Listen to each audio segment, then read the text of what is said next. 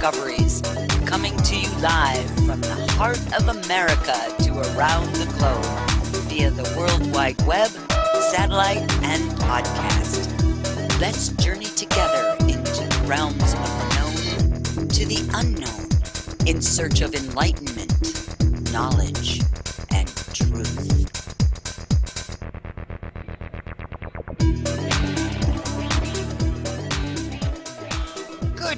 morning, good afternoon, good evening, wherever you are on this beautiful planet Earth.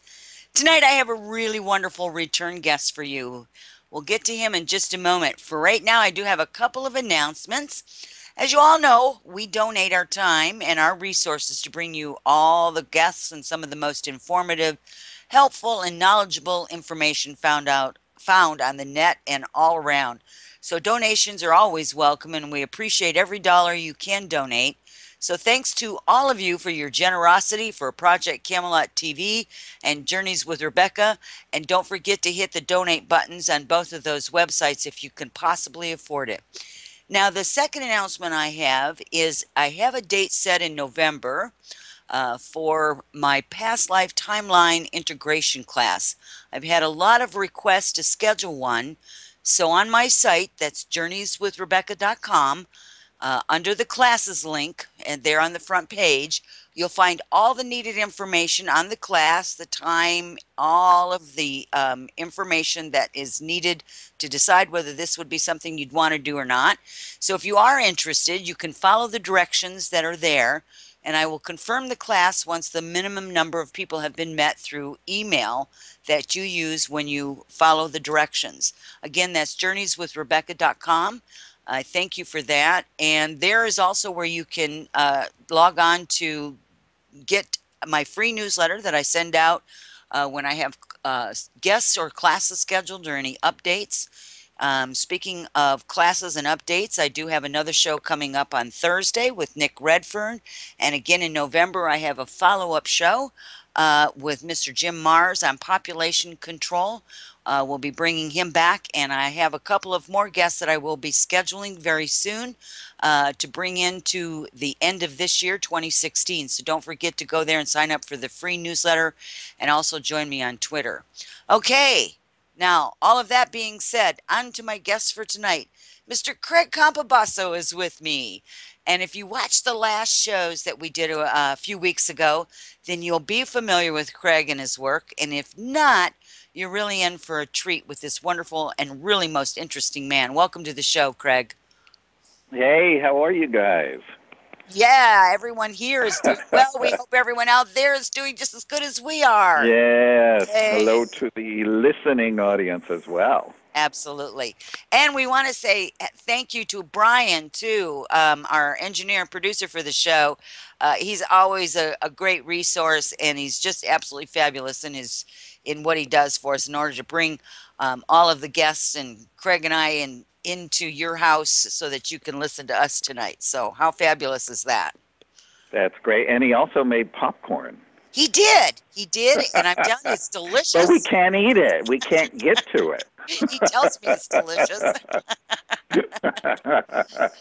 so let me let me give everyone a little background here on you, Craig. Um, you have been a guest on my show off and on for quite a few years now. I don't even know how long it's been to tell you the truth, but it seems like a long, long time. It's only because yeah. I know you from way long ago before we arrived here, and we'll get yeah. into that topic a little bit later. Um, but the last time you were here, you talked. We, we we got everyone caught up on the third book of the trilogy of I Am Turan saga, um, and we wanted I wanted to for those that may be just tuning in for the first time to your show, uh, you know, to listening to you, I'd like for you maybe to start out and give a quick synopsis of the three books because you have the fourth one coming up, which uh, you'll have to announce that, as well as some of the goodies and things that are available to anyone uh, in regards to the books as well. So I'm going to leave it to you. Uh, well, it, it's very funny because I've I've gotten a lot of really nice emails because uh, people have been waiting for the third book for a long time, and and uh, and uh, they were very excited that there's going to be a fourth book. But they said, "You do know what a trilogy is, don't you?" I said, yes, but we're going to continue it. So, anyway, so the the whole series is called The Autobiography of an Extraterrestrial Saga. Each book is subtitled. Um, it's about uh, Solar Commander Turan, who is a part of the Galactarian alignment of space peoples and planets, and he's also a part of its subdivision, which is called the Star Seed Alignment of space peoples and planets. Uh, book one starts us off uh, showing us that he is a um, professor at the University of Melchizedek. Uh, part of uh, what he teaches is uh, to messengers and mighty messengers who are going into um, incarnation missions on younger planets to help raise consciousness. So we learn about that there, but then we learn one one interesting um, uh, thing about Turan is that Turan lives in a, of course, in a society that is fully conscious but Tehran was born dualistic. And in in universal society, in about one in every two hundred thousand babies born, they're they're born dualistic, and uh, and it's for several reasons. Uh, because the the universal society is not used to living with dualistic people, um, it helps keep them uh, humble to the expressions of what a dualistic person thinks like. Uh, uh, the the the difference between right and wrong and making uh, and making choices and making bad choices or uh, uh, all different types of things that we all go through here on the planet. Uh, I don't need to go into detail. We we've all lived them. Uh, anyway, we could all write you know a volume on that. Uh, anyway, so when when he was a teenager, he went away to a boarding school where he met uh, other dualistically minded uh, people, and uh, two of them remained his uh, great friends all the way uh, throughout the trilogy. So, anyway, so what we do is we go on Turan's journey of not only why was he chosen to to teach at Melchizedek, uh, but learning why he's dualistic and how he overcomes his own duality. So we, the reader of the books, actually become the character of Turan and go on this journey to learn how he rises up and out of duality throughout the trilogy and uh, and what happens when he becomes fully conscious and in training those who are coming here who are fully conscious there who then will incarnate here on their incarnation missions, and they'll be dualistic, and then at some point they'll have a major spiritual awakening and start to raise consciousness. But we'll get into that much later in the show. So that sort of takes us on the journey, but then we have the greater duality of the universe uh, between Archangel Michael and Lucifer, and we actually. Um, go through that entire storyline from uh, book one all the way through book three, and uh, that that drama uh, ends in book three, um, which is. Uh, that book I, I really, really was uh, waiting to write because it's where Lucifer um, and uh, all his cohorts go on uh, trial for soul death. Um, they've already been in prison for 200,000 years and have been given many times and chances for redemption. Um, and it's what happens during this trial, and we go back and forth to the original trials um, that that happened um, uh, when uh, the, the ones that put him and his cohorts in imprisonment uh, over 200,000 years ago. So, needless to say, they're created beings, so they they don't die unless they go into soul death, and what that process is like, uh, etc., is all in book three. So, book three is quite a um, moving tearjerker, I, I would say. I, I, in writing it, went through.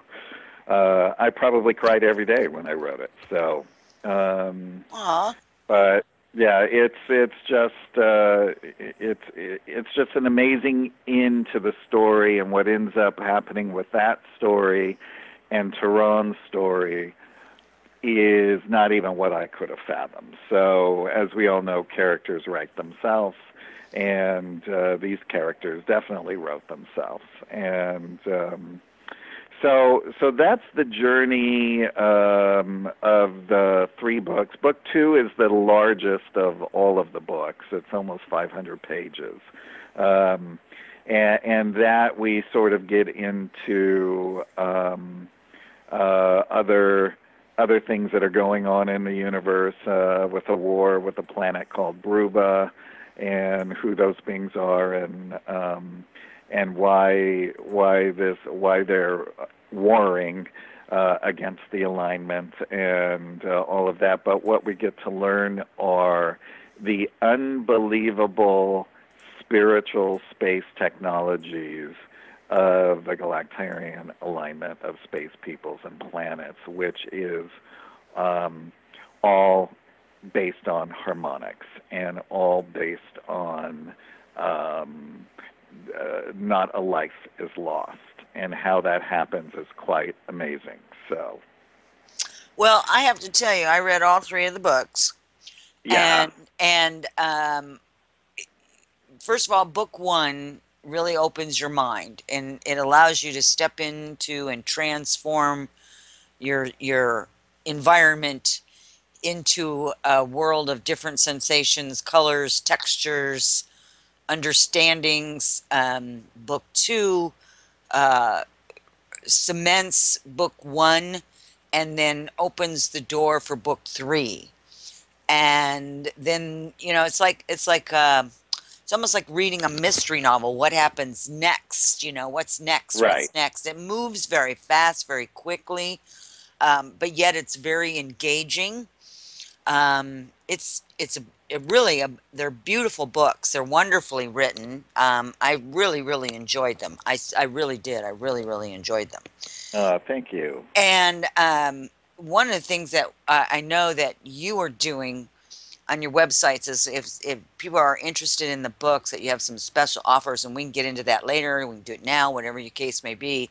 But one of the things that I wanted to make sure that you will talk about and you can share is that that this this the whole story was really based on information that you received about who Turan is.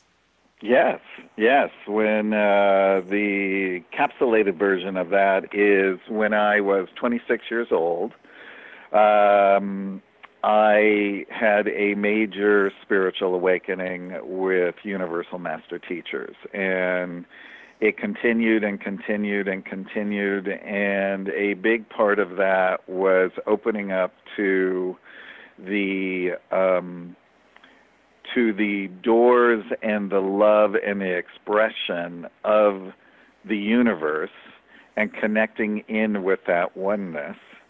And then uh, I went through uh, a period, the, these teachers um, one night fed me with this golden light that is so of the beauty and and the harnessing of love that you can't ex- explain it unless you've experienced it.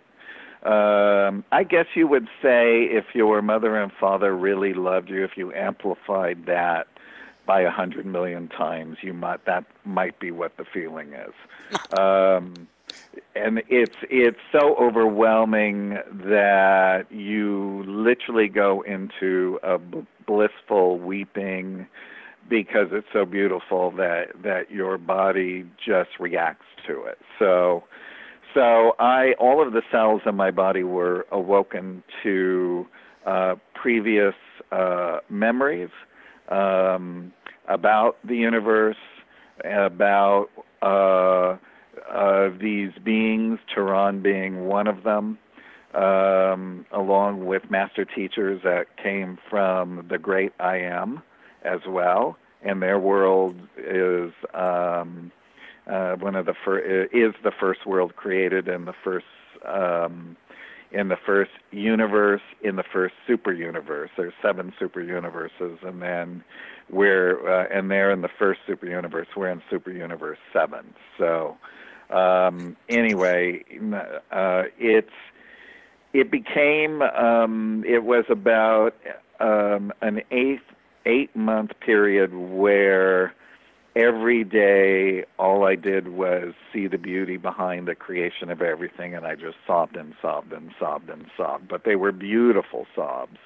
And um and really what it was was sort of like a cleansing process as well. Um and I started working through things and seeing things differently and understanding my own behaviors how I was reacting to emotions and that um, I didn't need to react to them anymore. So I started working on myself and working on myself and working on myself, and I'm still working on myself. We all still work on ourselves. Uh, yeah, it's a work in progress, yeah, right? It, it's always going to be a work in progress, Yeah. and so I can say that yes, I've gotten better, and yes, I've uh, uh, I've I've I myself am very proud of uh, where I'm at. I don't always succeed. Some days are a little more challenging than others, but I but I'm I I recognize and put out the effort um, to do that. And I work in the film industry, by the way, and every producer and director looks at me and says, "We are in the middle of chaos. How can you be so calm?" And I say, because if I get angry and upset and scream and yell, what good is that going to do? So let's just deal with what we're doing at hand and let's move through it quickly and here's solutions and and that's how we move through it. So um but anyway, that whole process for me was uh, extremely beautiful, and there there was a major awakening process that continued, uh, which then I wrote about in a 400-page book. Um, and then one of the main uh, teachers said, "What would you say if uh, I told you you just wrote that book for yourself?" And I said, "Then I would say I learned an awful lot about myself." Um, and that's right after I had just visited Mount Shasta and had a major experience with the Great I Am, where where it um, uh, split my astral form in two and uh, spoke, and and that is actually in book two, um, that whole experience. Um, but so when I when I returned, this is one of the master teachers from that world, and I said, then I've learned a lot about myself, and and he said, now it's time to sit down and write the real book. We don't want you to um, stop, change, or modify anything. You are to just continually write everything that you hear, and as it comes out, um, don't edit, don't do anything until we stop the flow. So what it would be like is they would wake me up at 3 a.m. every morning. They said this was the best time to write because all the brain waves were low. And I would sense all of their energy forms um, in the room where my body would ring with chills for 10 to 15 minutes because I, I wasn't adapted to it then. Um, and then I would just start writing. So really, book one and book two were a book that was 900 pages. So that I wrote over many, many years. And then when it came time to do it, is then I cut them in two and cut them down. And then uh, and then uh, over a year ago wrote uh, book three. So, so that was the process for me, which still continues to this day because I know when I don't understand something that I write that it's going to be explained later on. And you and I say, you know, that's why when you read the books, there's so many mysteries and twists and turns, which I know that a lot of the readers really, really like because it keeps them moving Yeah, uh, for throughout sure. the book. Too. Yeah, because you really want to know what that information is. So, so um, uh, it's kind of like I think one one uh, reader wrote, "I feel like I'm kind of watching. Uh, I'm kind of reading." Dynasty in the Cosmos. I said it's a little like that, you could say, because they were there's cliffhangers. You know, Oh, all those shows like Dynasty and Dallas had major cliffhangers. So, so there's a lot of cliffhangers to keep people, uh, you know, uh, wanting wanting more. So, Well, it definitely it definitely held the people's attention. I'll tell you, and if it doesn't, I don't know what would, because that it really was. It was uh, it was a challenge for me uh, to not just keep my nose stuck in the book. You know, you have to get up. and You go, oh, I don't want to leave this because I, you know, can't wait to turn the page. Seriously, it was really great. Yeah, yeah. Most people um, who have uh, wrote to me read it in one night or in two sittings.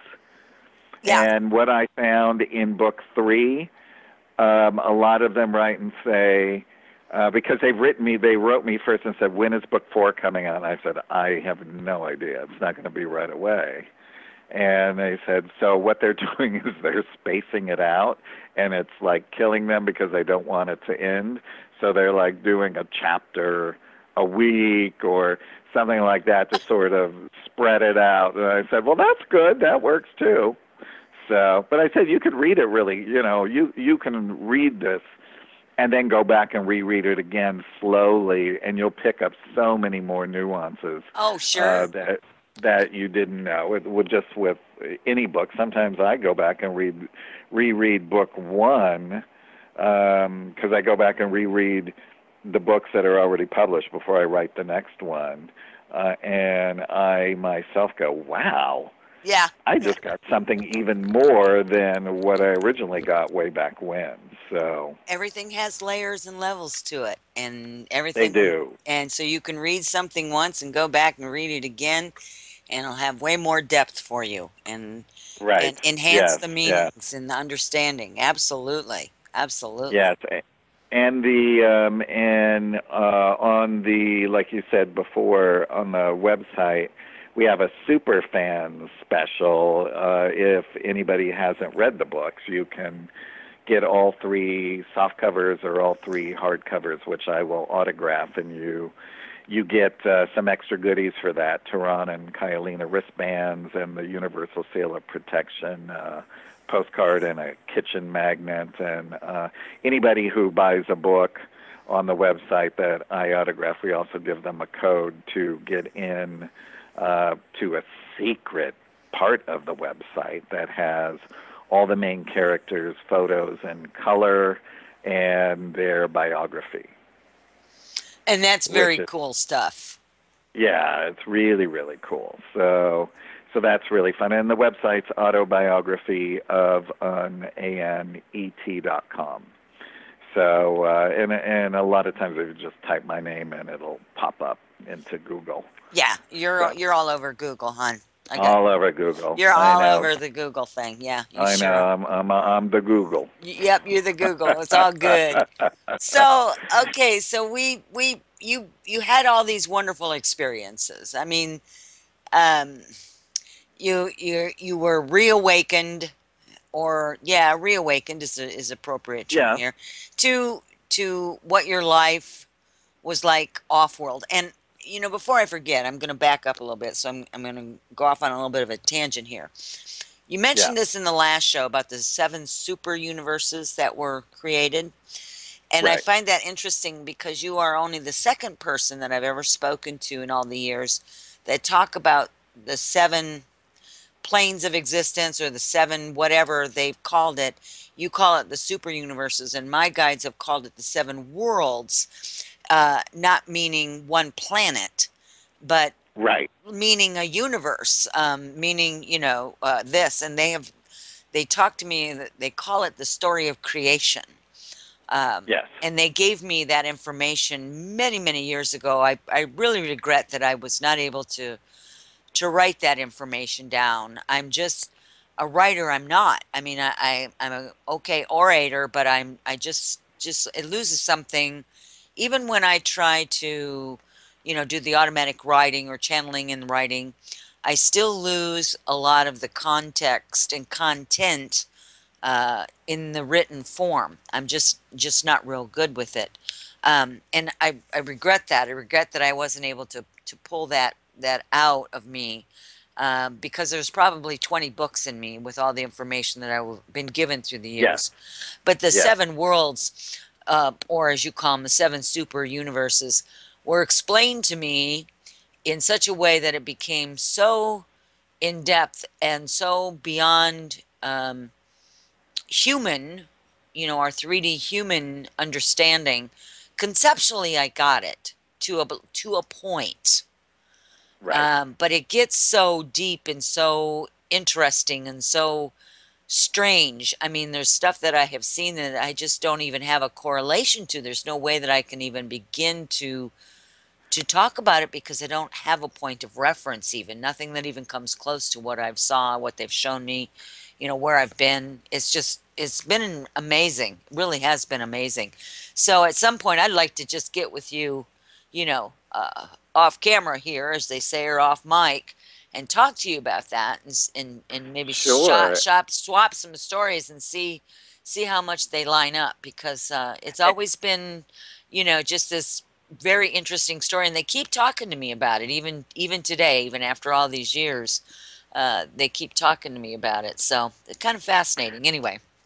Well, just to give you just a tiny uh, little uh, tidbit is Turan is a soul split of seven.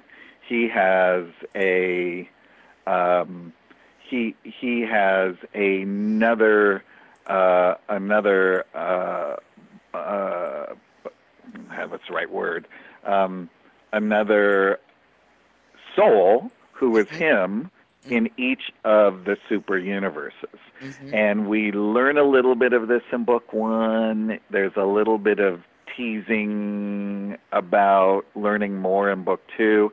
And then in book three, we meet his seven selves and we understand why he is connected to his seven selves within each of the super universes. Now, the, the thing is, is if you are, uh, so he is called an, an an eternal final eater. And what that means is he is living in seven different existences, his soul, his oversoul, in each of the super universes.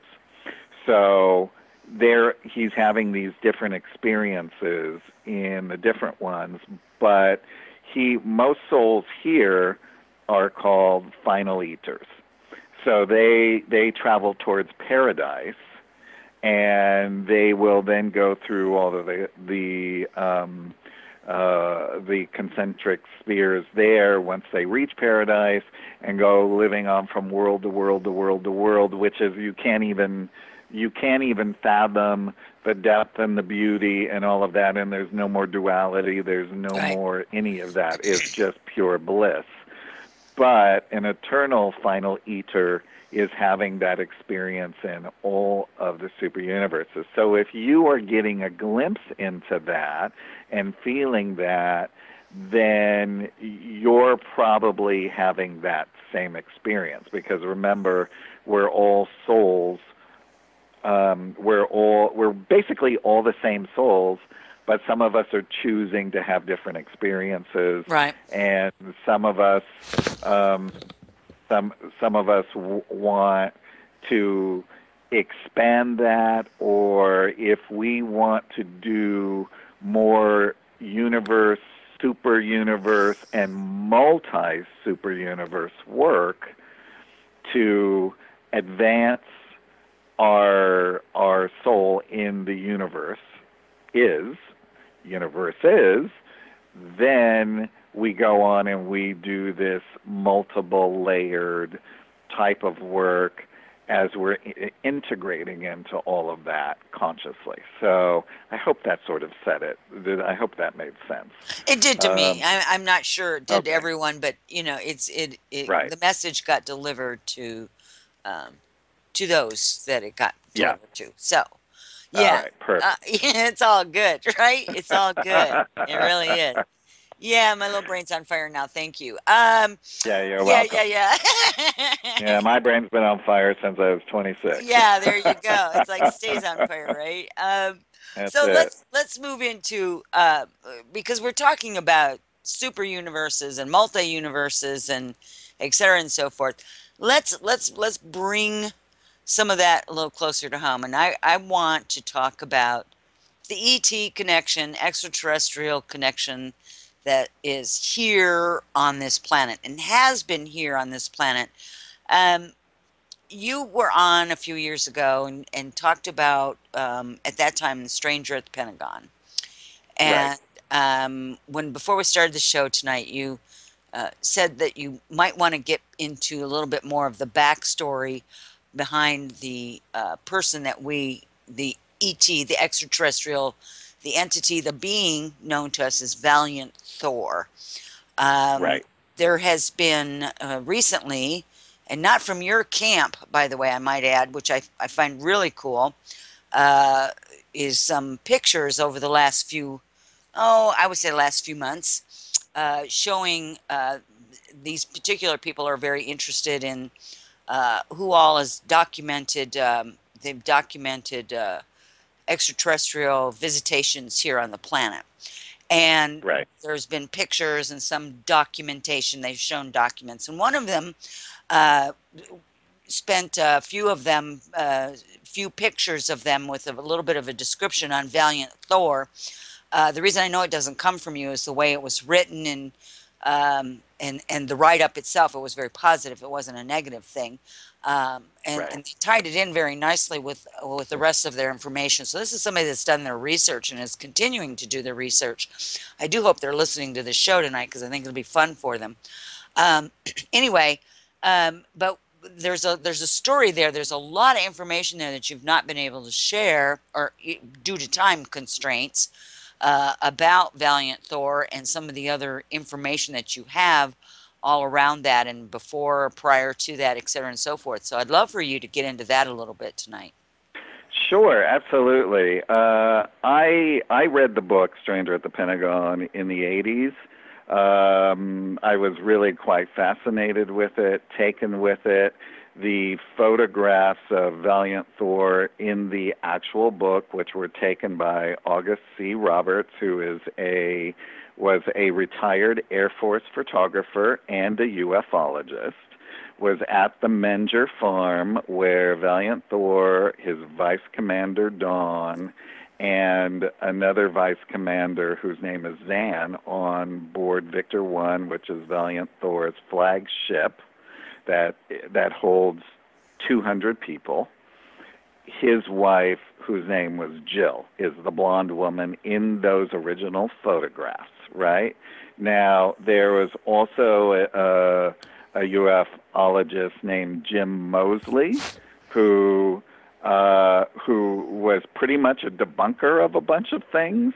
But Jim Moseley is actually also in those photographs as a young man of 19 years old, and he was there that day as well. Now, I met Jim through Dr. Frank. I also met um, uh, Connie Menger through Dr. Frank, uh, and it was at Howard and Connie's uh, backyard where those photos were taken. So I got to talk to Connie at length about it, and she she told me that uh, they were being visited uh, by beings, um, and all human appearing, by the way, for many many years. And every time they had lectures or things in their private property in High Bridge, New Jersey, there were always visitors there. And uh, in fact, a part of their job when earlier visitors came, they called the ETs who came here, they would have to go and buy them earth clothes, right? So um, Okay, let me stop you real quick before you go on. yeah, Do yeah. you know why that these extraterrestrials, uh, non-human beings, chose them? That Well, they are no, they're they're human. They're not non-human. They're Okay. human. But why did They're they hu- choose? They this- all look they all look human, but their they um, their souls, like what we were talking about earlier, when people come on incarnation missions, what we were talking Right, about. right. Yeah, I misspoke myself. I apologize. They're there, there, uh, Howard and Connie are also from out there and came here on a mission, and that was part of their mission. Okay, that's what I wanted to get All to. right. Who were these Yes. people that the other ones were showing up at? Okay, okay. Correct, correct. So, so long, long story short, um, uh, Howard's passed away. I believe Connie is still alive. Um, and uh, as we know, Dr. Frank passed away in 2008.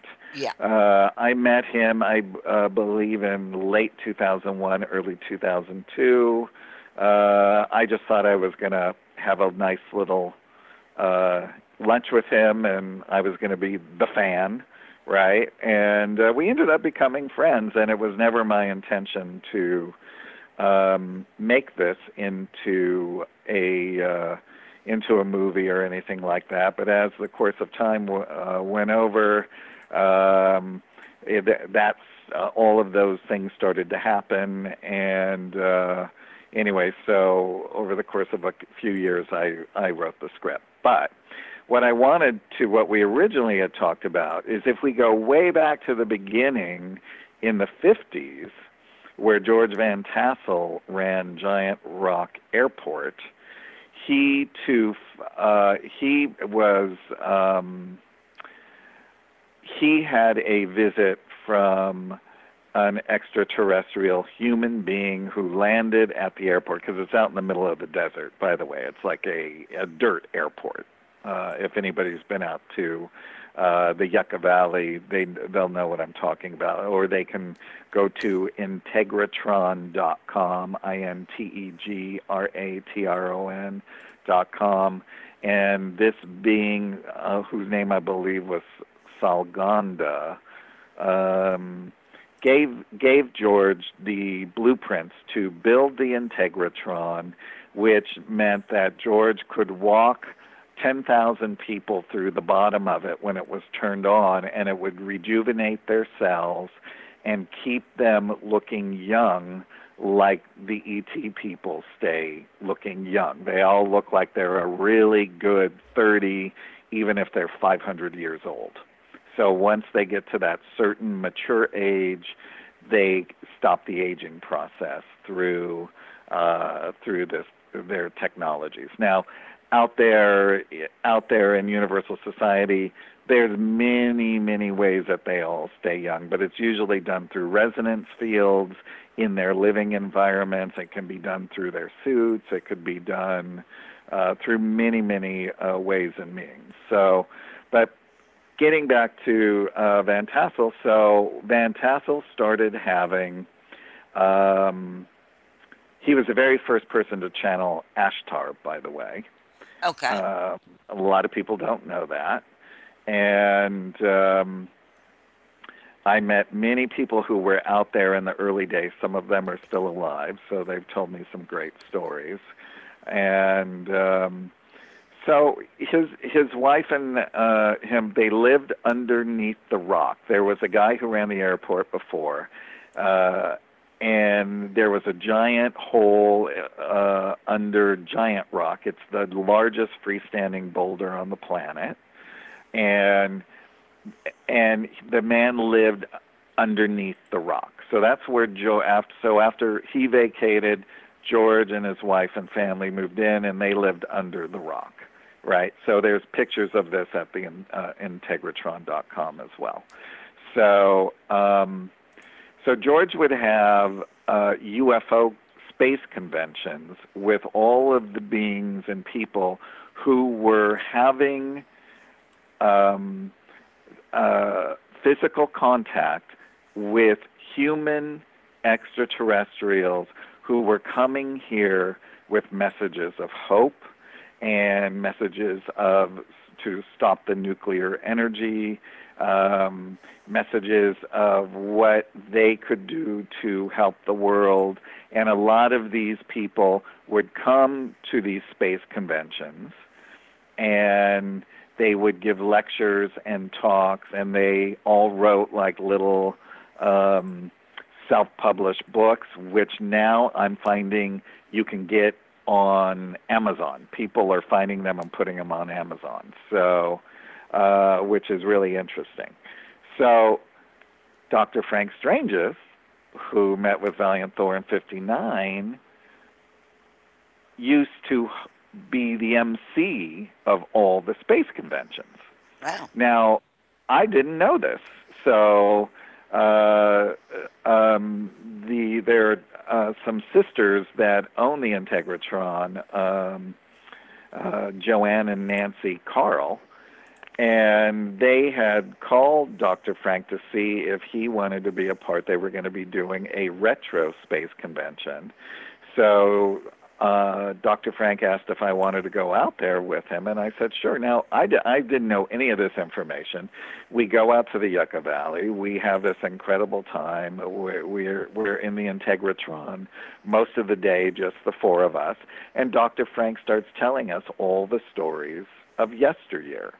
So this is sort of where that space movement came from and I think a lot of people there is there is a much larger story which I am going to be telling in the feature film about Valiant Thor. Um, but I think the misconceptions are people think that because he's an ET from somewhere else and he came and met with the evil U.S. government, right? they take it and they twist it around and they say that he's he's not you know he's not what you say he is so i have never met valiant thor uh, you know i always say that dr frank knew him his whole life and um visited with him i i myself uh had experiences with um with crew members. Uh, the first day I started writing the script, Valiant Thor came to me in a dream and showed me the whole path and everything. But you you have to remember that he's a uh, he's a created being, so he's an angelic and human form, and his mission was to come here and to help the people of the earth. Now, Eisenhower was not a corrupt president. Richard Milhous Nixon was not a corrupt vice president at that time, right?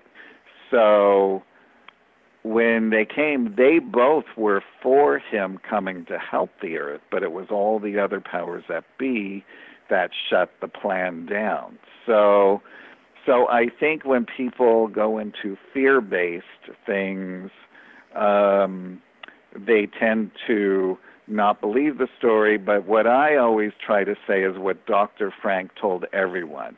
It's it's a big story to swallow all in one sitting. So if this is the first time you're listening to it, do a lot of research, get the facts and and that. Now, can we well, now over the years what proof is there? We have proof from Harley Byrd, who is Richard E. Byrd's uh, nephew, who was a part of Project Blue Book at that time, and he confirmed uh, the whole Valiant Thor story, and that he was here to help the world. Now, uh, we, I have also obtained um, Harley Byrd's honorable discharge papers from the Pentagon proving that he was there in, working uh, under special investigations at the Pentagon during the years that Valiant Thor was there, and um, and also uh,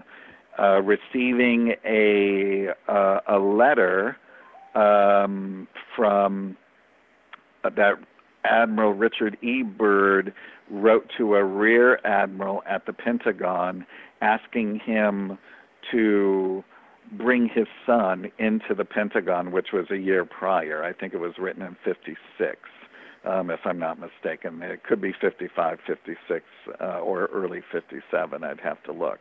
Um, which then, of course, happened. So, so we we do have that proof of the story. We have Dr. Frank's testimony.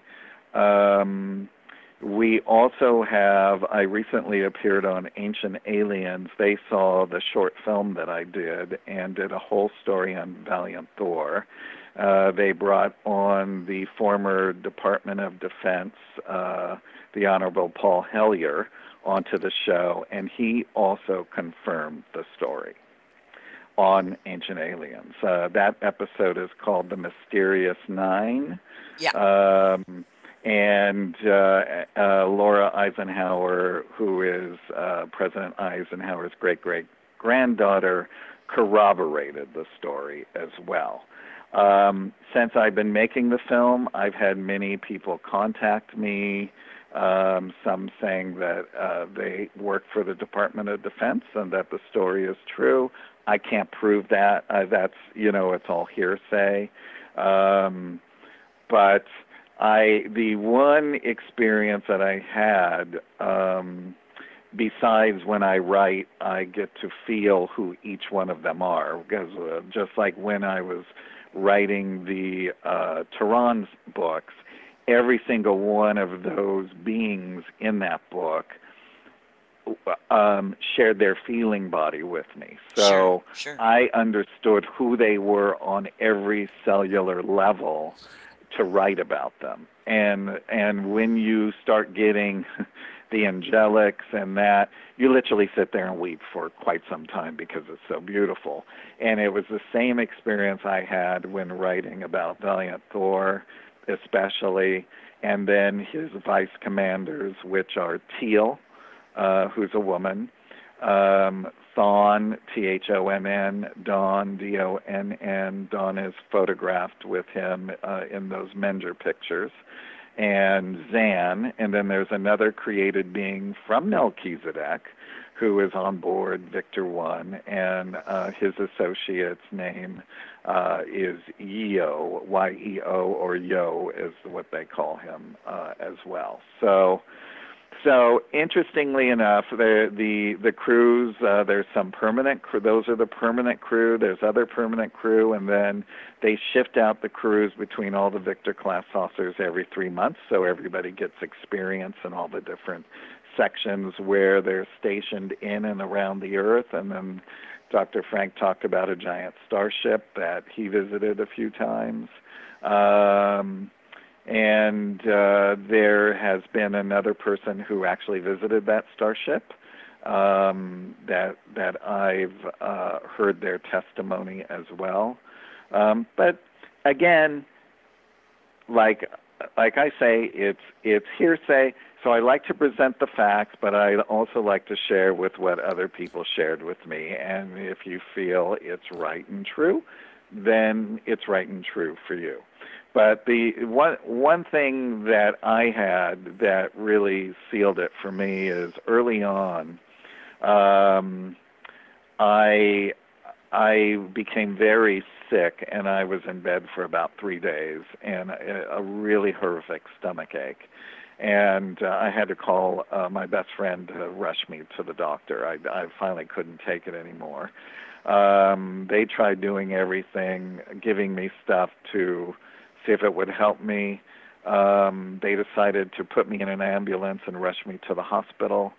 Um, I was uh, admitted into the hospital and uh, they did x-rays. They told me I had a bowel obstruction and they were going to have to operate on me in the morning and I uh, I was not too happy about that. So uh, my friend stayed with me till about eleven that night. I went to sleep, and while I was sleeping, um, I could feel Teal standing over me, and I felt bubbles moving through all of my intestines. And I knew that when I woke up in the morning that everything would be okay. And that's I was in a twilight when this was happening. I was half awake and half asleep. Right. And when I woke up in the morning, which um I was remember being sort of on my side and I looked over and sitting in the chair was Dr. Frank. Oh. And I had no idea how he knew to come because my friend was the only one that knew, right? And he smiled and he said, Teal called me early this morning and wanted me to come and tell you that she fixed you up last night. Aw. What a great story! So that was my yeah. So that was the so you know for me that was a great story. I've not you know like I said I've not met them in person, but I have met um, two other individuals who were on the planet who both met uh, Valiant Thor when they were um, in their teens. Uh, one met him twice in one week, and the other met him uh, uh, met him uh, once, and their descriptions of him, and both these women do not know each other, by the way, um, and they're both lovely, incredible ladies. Um, is that they both said what Dr. Frank said when he looks at you, you know he's looking through you and he knows every single thing about your soul, right? But they both said something that that was interesting. They both said he had a scent about him that was like a perfume, but wasn't a perfume, but it was an air of love and peace. Aw.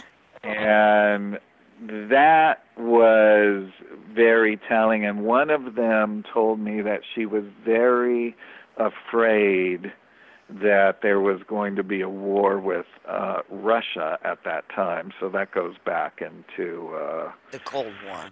in the Cold War, right? Um, but that he actually calmed her and said, "Don't worry, we are not going to let that happen." So it's interesting from listening to all of these things and knowing um, that there are beings that are that are these incredible angelics that are looking after the planet, right? And if everybody believes in good and believes in in the hierarchy, we know that there is an incredible angelic force, and that that angelic force is actually looking after us. And um, but if if uh, uh, but exactly Valiant Thor's mission could entail so much more than any of us could ever imagine meaning you know they can't stop things that people do here but they can help and assist in other ways. You know it makes me wonder like when there was all the radiation and things did they help with calming that down are they helping with the chemtrails really what are chemtrails we've all heard a million different things about chemtrails um, because you know they all have the technology up there. Uh, the angelics and the ETs and all of that is really all the same. It's just all one class. They're just all people, just like us. Right. It really is how they want us to look at it. And we're all the same. Some of us just might have a little more schooling than others, like a Valiant Thor, and that because if you think of the tiers of the hierarchy, you would have to have an expanded brain to even understand consciousness beyond the consciousness that we understand here, but even being fully conscious, you'd have to understand the consciousness beyond being fully conscious, and so on and so on. So that's why we have all these different tiers that teach each other um, about the universe. Wow, that's really cool, isn't it? It is. It's fascinating That's too. really, really cool. So, Well, so and, go ahead. go ahead. No, you go. Well, you uh, go. I was going to ask if if you know you said you have said in prior shows that your understanding is is that Victor One is still here. Uh, Yes. It's it's camouflaged or stealth mode or invisible, whatever, however you want to word that. And Sure. that your understanding is is that Valiant is still on the ship. I would be interested to know if if anyone is in recent contact with any of those beings that you were talking about, those humans that you were talking about, um, recently. Well, Dr. Frank passed in uh, November of 2008, and at that time, um, and and before, he told me that Valiant is here with his complement, and um, amongst others as well. This is the main focus of the of the enlightened universe is to bring this planet up to consciousness for it to join with universal society. So that's why there are so many things going on uh, here right now because it has to has to go through its its growing pains before that can happen and for every you know so we know some people are awake some people are asleep and the ones that are asleep are the ones that we're all trying to help become more and more awake through doing their own spiritual work on themselves and um, uh, but Dr. Frank said that he is not leaving Earth until that transformation is complete, no matter how long it takes. And as we know, there are no timetables in the universe. It's just the amount of time that it needs for everybody here to feel comfortable and to feel safe. And we already know with all of the disclosure things going on and everything that people are really coming up to par. And I think people now really are in a space to start accepting that little by little and when they start to see that most you know there's a lot of different looking beings out there but you're you know people are going to come in contact with more human appearing and people will recognize that when they start to interact with these beings when when it, there is emerging um, little by little. Um, so let's just say let's just say disclosure happened right Okay. and some nice time passes. And some some of these ambassadors come down. They're human. Um, they look just like us. They're not in camouflage. They're not little crazies in disguise. I mean people go there. I don't know why they have to go there. But it's what you feel when you see them and sense them. And when you feel nothing but love then you know that that's what they're made of, right?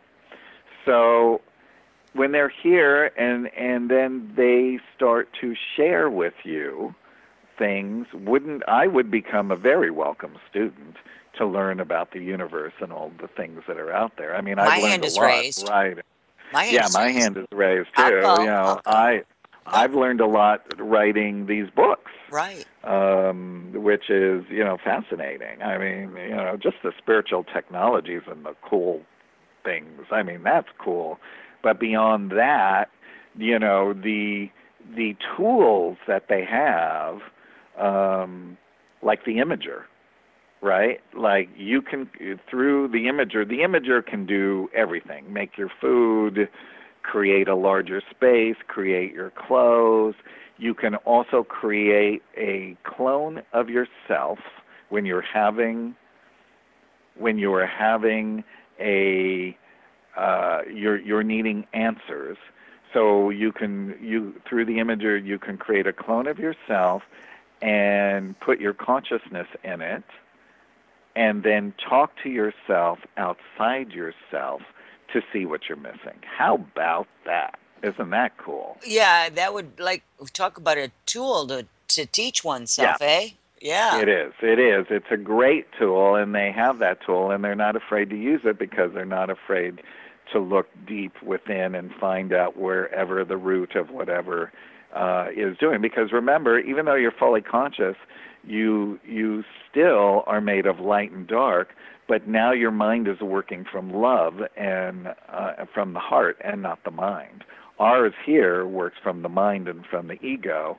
And as we start working through all of our challenges and our spiritual things, that's as we start to uh, start becoming closer to um, becoming fully conscious and merging our uh, merging our seven chakras, um, which bring in the Christ chakras. And I say Christ chakras meaning not meaning religious, but meaning christened chakras that then come down and and that's when you start becoming fully conscious is when when you do that. We we do have that integration and chakra charts in book three of um, the the full 12 chakras and the um, merged chakras uh, as well in the books and in the hardcover of book three on the back flap um, there uh, the charts are there in color as well.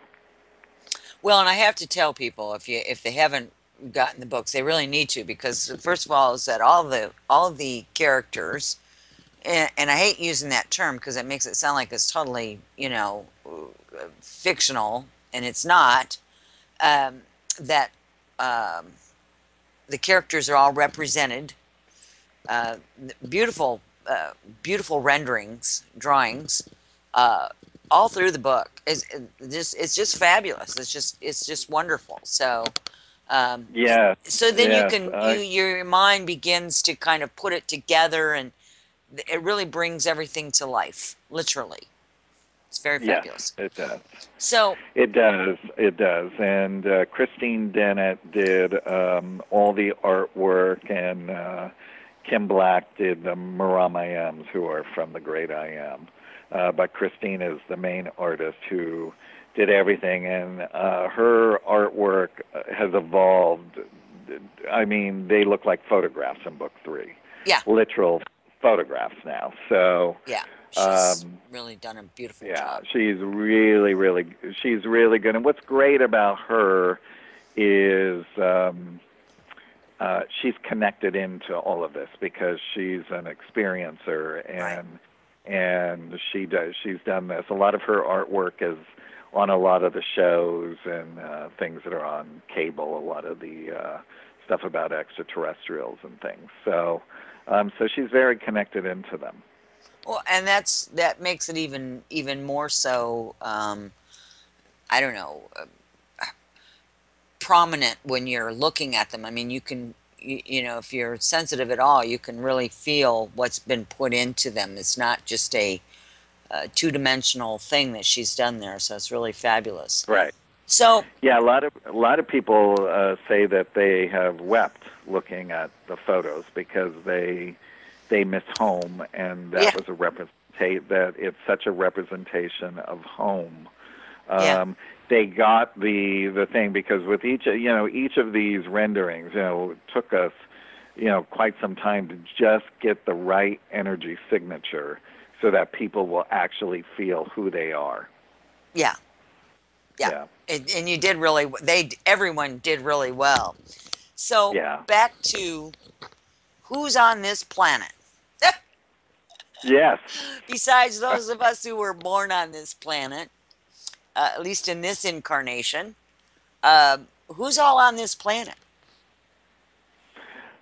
Well, there's uh, there's all different kinds of scenarios. There's um, there's a lot of incarnated uh, beings from all over the universe, the super universe, other super universes.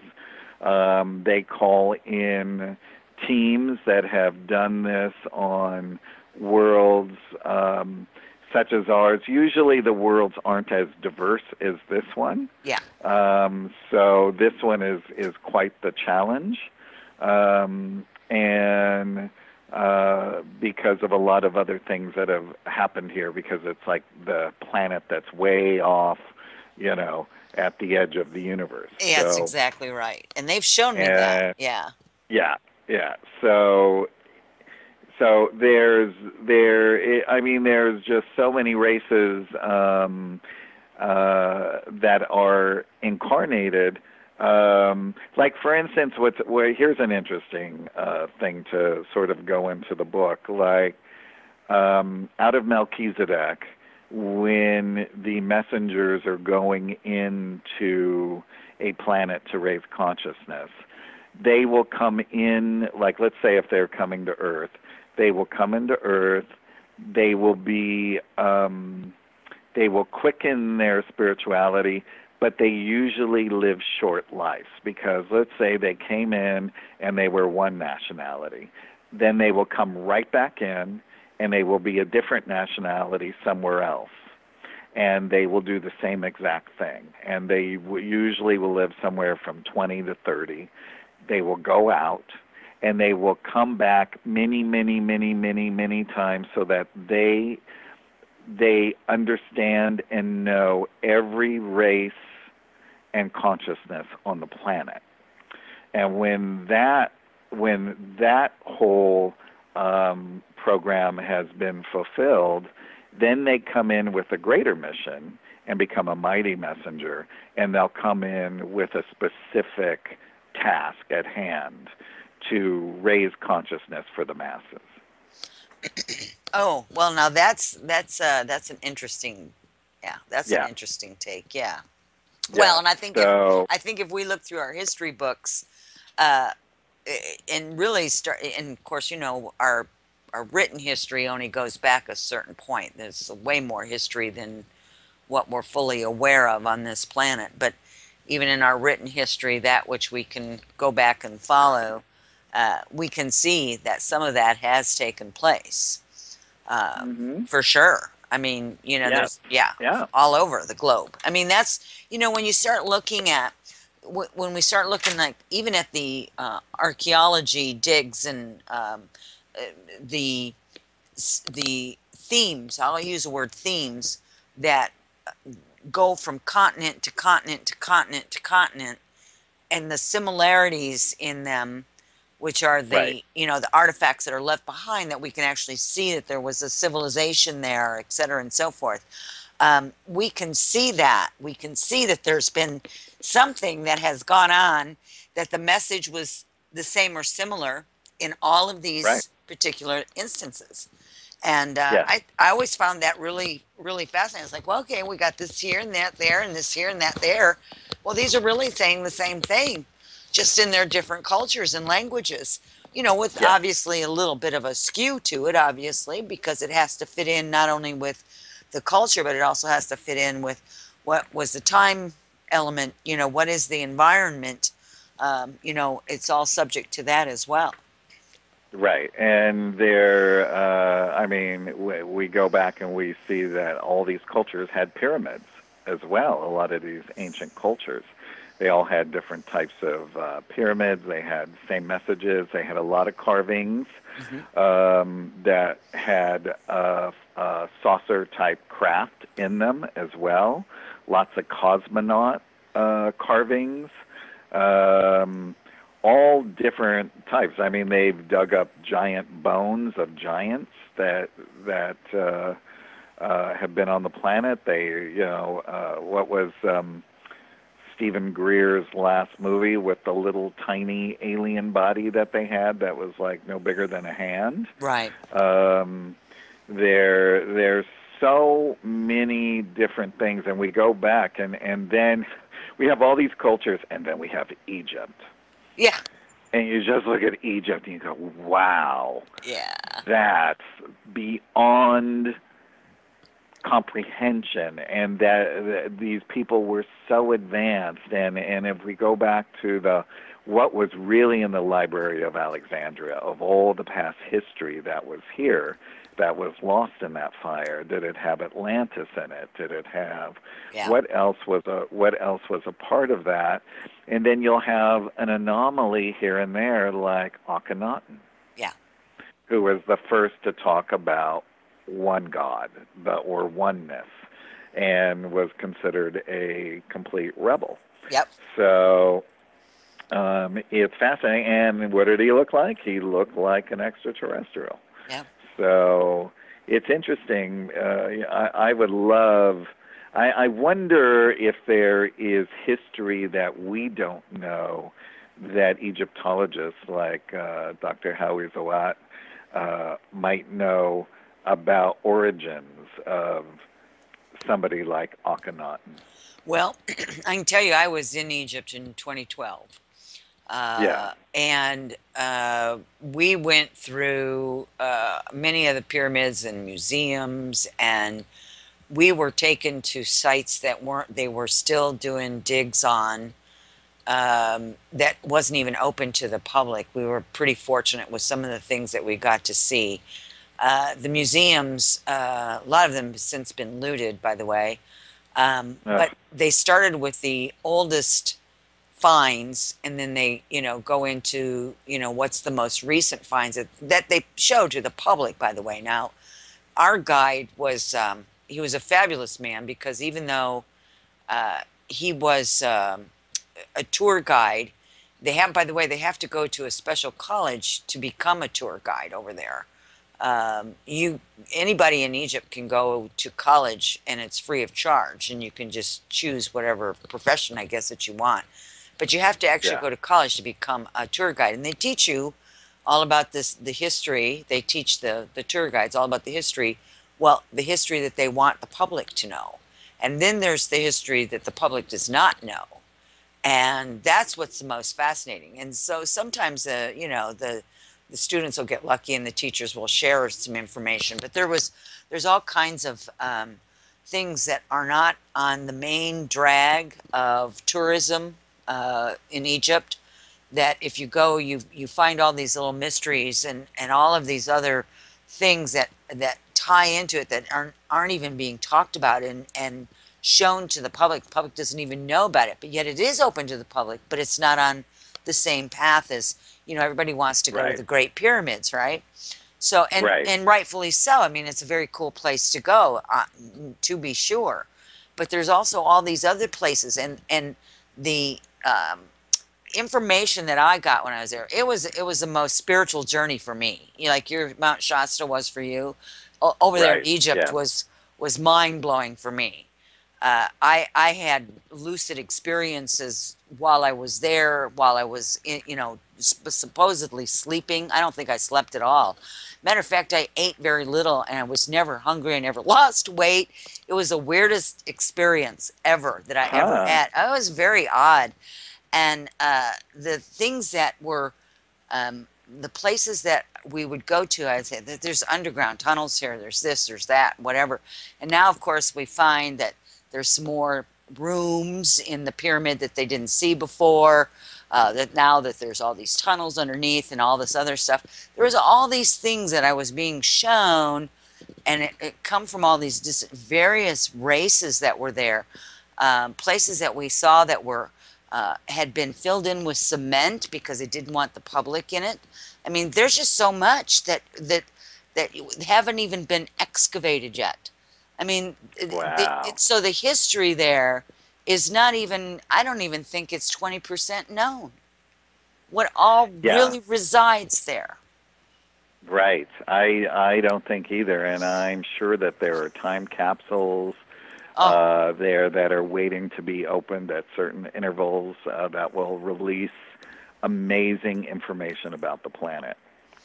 Oh, and it's everywhere. You talked about the pyramids. You know, there's pyramids in China and Japan and uh, South America and Africa, here in the United States, uh, everywhere. There are pyramids all across the world. Um, some of them are not being allowed to be in. I know there was some pyramids that they found in Ecuador um, that they weren't. It was either Ecuador or Peru. I believe it was Ecuador, but they they don't even allow anybody to go in them. They're they're just off limits. Nobody can go in them. Australia, same way. Um, uh, places over in the Middle East, um, they're all blocked off um, by the military. The military doesn't let anybody in. So they've they've they've found these ancient sites. Uh, governments have, or people have discovered them, and the governments found out, and then they shut them down. Just like the Grand Canyon, there's points here in the United States we're not even allowed to go into the Grand Canyon. you know there's stuff there that that right. It's, they're probably entrance to to the inner Earth. I'm sure. Uh, yeah, and to a lot of information that I believe that we as the race of humans on this planet deserve to know about. Right. And I think we will. Yes, we definitely will. We definitely will. I mean, all that stuff comes out in in the time that the that the planet will will need it and be able to accept it. That's So, right. The Elohim call it the Uh, great revealing. The great revealing, absolutely. Yeah. You know, what's also fun is in um, book two is Pyramid City at Melchizedek, Mm. uh, which is a giant pyramid city. And uh, this is where a lot of things take place uh, with the messengers, mighty messengers, the universal hierarchy, um, all that. And there's even a nice, uh, Christie did a gorgeous artist rendering of uh, the Pyramid City as well. Could you imagine going into a gigantic city like that? I mean, there are gold, silver, bronze, crystal, waterways in between it, um, gorgeous. Uh, you know, beautiful flowers and uh, shrubs and all kinds of things. I mean, it's it's a fantastical place. I, uh, this would be. I, I would really love to see these books made into movies, just to see all these landscapes come. Wouldn't that just be awesome? Yeah. yeah, really and truly would. All so, the colors and the vibrancy and oh, Yeah. just amazing. absolutely, it'd be really, really amazing. Yeah, absolutely. So Yeah. the other thing that you wanted to get into tonight before we run out of time here was you wanted to talk about the consciousness raising programs. You know, Yeah. our world is really crazy right now. Um, it's getting crazier by the moment. And we can either get caught up in the craziness or we can do Right. something different, which is to step out of the craziness it doesn't change the craziness from going on, but you are not contributing to the craziness by being involved in it, you know, in a personal level like that. That's right. And That's right. So, you're, yeah, so this whole consciousness raising thing that you programs that you want to talk about, I think is might help to redirect people and give them something else to focus on. It, that's absolutely true. I was just talking to a friend of mine uh, the other day about a lot of uh, star seeds or or people who know that they're not from here are getting so caught up in the negative part that that some of them um, uh, are uh, get into uh, drugs or they get into alcohol or they become chain smokers because they don't know how to direct all of this energy coming in, right? And I, uh, and that's not true for everybody, but I'm just giving some hypotheticals and and stuff. So when when I had my spiritual awakening, I myself had to learn to, over all these years, go in. First of all, I had to learn how to ground myself.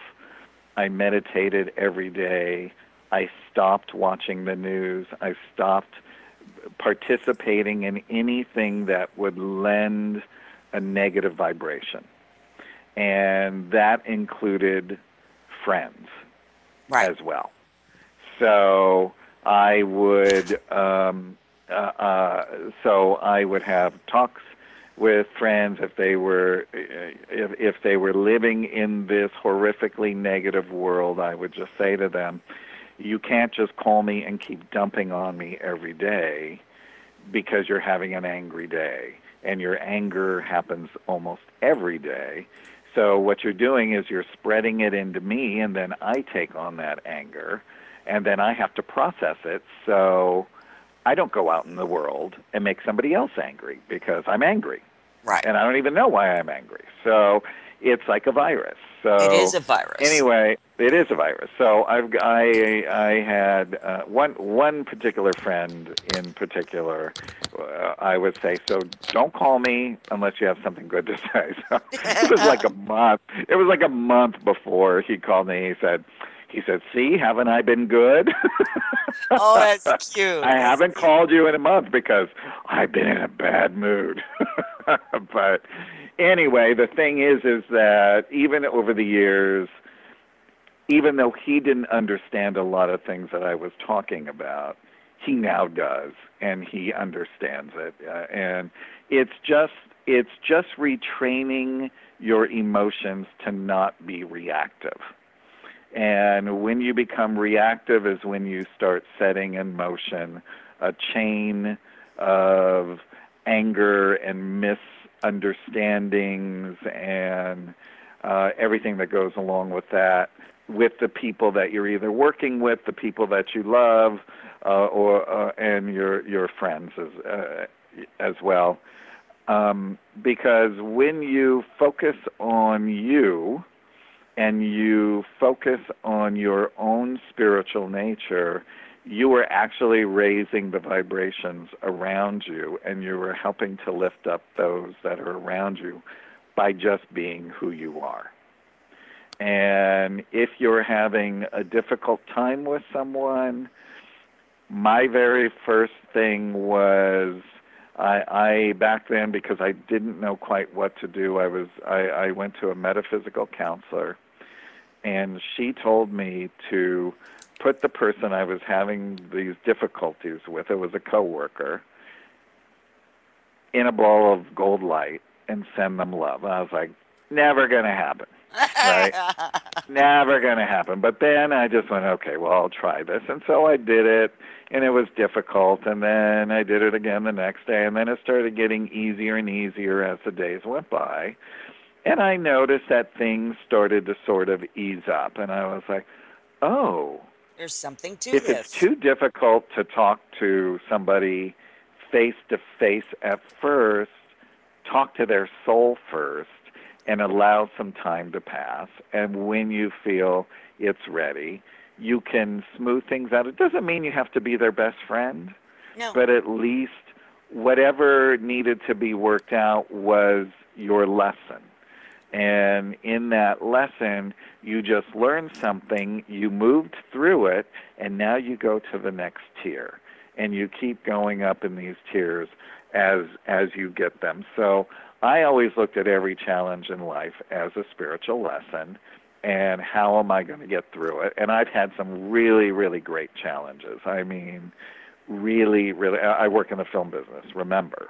yeah, and it's it's a uh, challenging yes. business. Very cutthroat. yes, I can be. mean, really, really, really challenging. And um, so that's that's what I do. And and Teal said something um, to Dr. Frank too once, which which also stuck with me.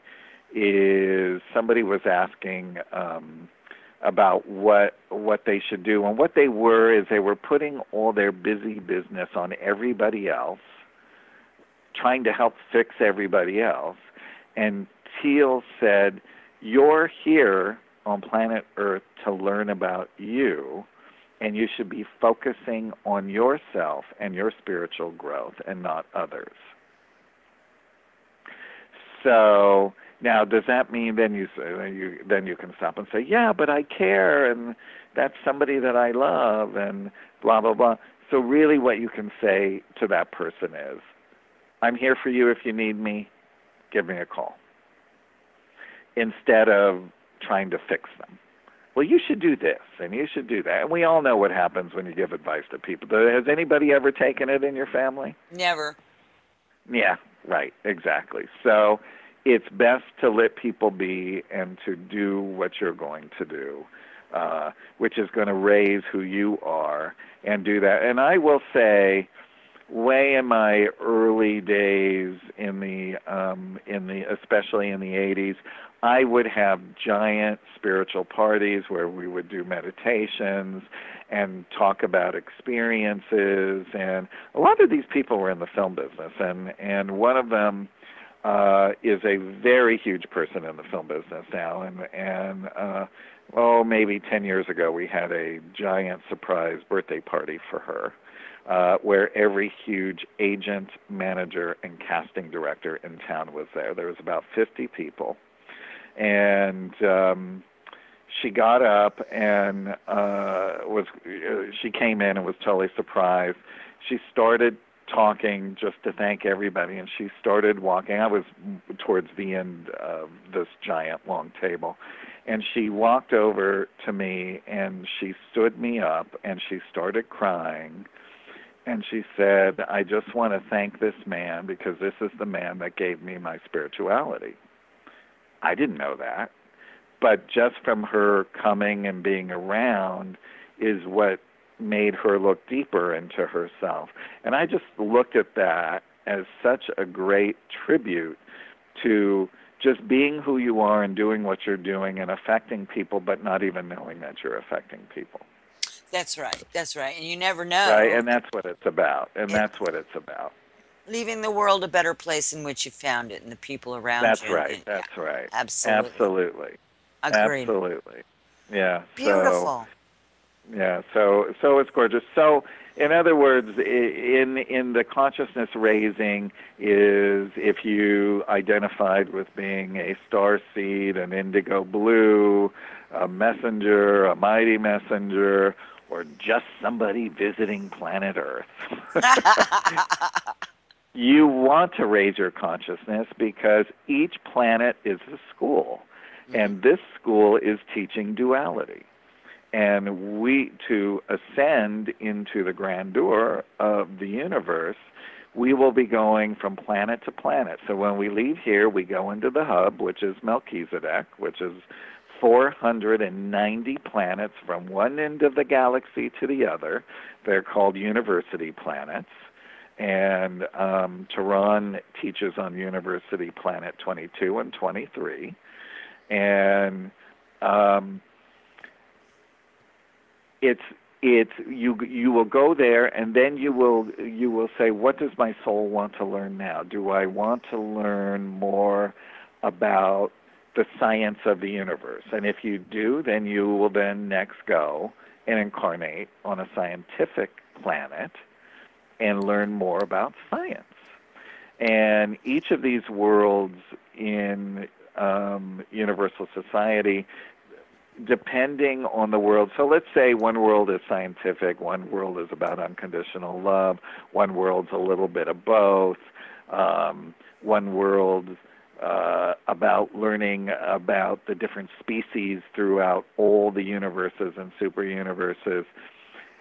Each like like here we have a lifespan of anywhere like the normal lifespan is anywhere from 60 to 80 somewhere in the 80s, right, is the normal lifespan. So that's what we think we need to maybe get it, but here we can come in many times because there's so many different things to learn through all the different cultures, which is an incredible blessing in disguise, by the way.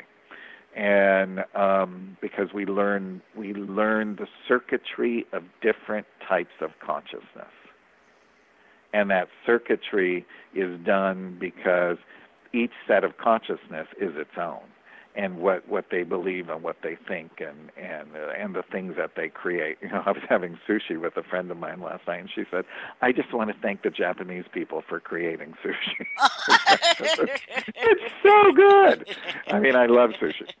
So, um, but but then uh, so so let's say maybe on one planet the allotted lifespan for the beings there to learn what they need to learn is a thousand years, two thousand years, five thousand years. So then, uh, whatever it is, that's the general lifespan of those beings, and they will stay looking 30 because they have the resonance fields to keep them looking that way. So, um, so it's all extremely um, it's all the whole universe works in the favor of us as long as we join the flow of the universe and let it and work with it. Then we become at one and learn everything that we need to learn. And and really here is just we all know is just letting letting go of the ego and once we learn to let go of the ego and allow things to be then we understand the greater the gr- I think we understand love on a much deeper level. I I just went through a second um, spiritual awakening. Didn't know you could have two, so I guess you could have three and four and five.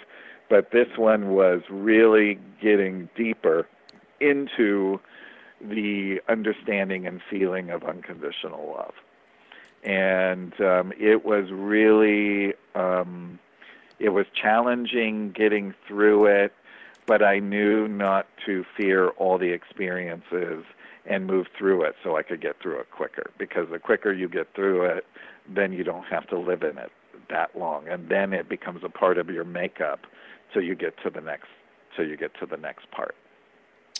Absolutely. So, well, and you know, I always said our DNA holds everything that we've ever been Yep. Um, yep. And and when we learn how to access that, uh, yep. we've we've got a lot going for us. Well, it looks like we're we're just about out of time here. So what I would love for you to do, I this has just been great. We have covered uh, a gamut of things, Craig, for people. Uh, I hope they go back in and listen to it again, even if they listened to it the first time, because there was a lot of layers to this show today um, yeah. E- extremely um, inform- informative for sure. Uh, but if you would, before we go, I, I would love for you to uh, give out your web addresses, how people can get a hold of you, whatever information you'd like to leave everyone with tonight. Sure. The uh, autobiography of an extraterrestrial saga, the uh, book website for the trilogy, is autobiography of an A-N-E-T dot com.